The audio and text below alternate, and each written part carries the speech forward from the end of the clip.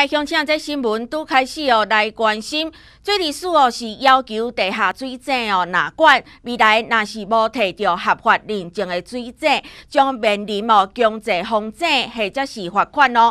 去年哦，咱中华县的农民申请纳管的地下水井，讲到十五万三千外件，但即马讲即个合法申报的水井哦，依法爱收取三年，总共是两千七百块的规费，农民就大骂政府抢钱，为着顺应民意，县政府只好。紧急来停止收规费的措施。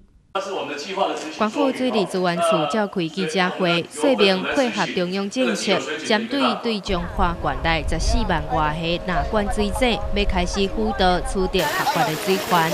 同时定出爱缴纳包括预产费一千、登记费千二以及水权费五百，总共两千七百块的规费。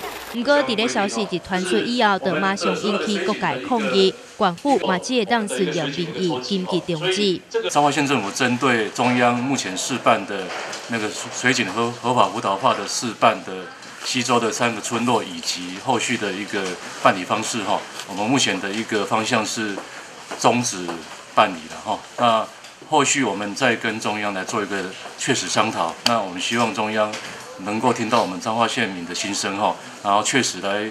反映我们的一个意见哈，来做一个适当的一个修正。因为这项计划只是先暂停，水资处强调会积极收集乡亲意见，同时向中央提出建议，等中央甲地方取得共识以后，再过来评估应用的方案。